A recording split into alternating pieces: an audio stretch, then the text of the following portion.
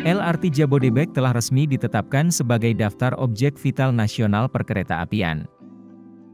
Penetapan ini berdasarkan surat keputusan Direktorat Jenderal Perkeretaapian Kementerian Perhubungan.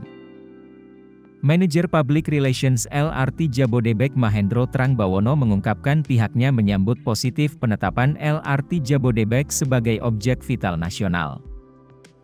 Sebagai moda transportasi perkeretaapian dengan teknologi modern, LRT Jabodebek tentunya memiliki peran dan dampak strategis bagi penggunanya, ungkap Mahendro.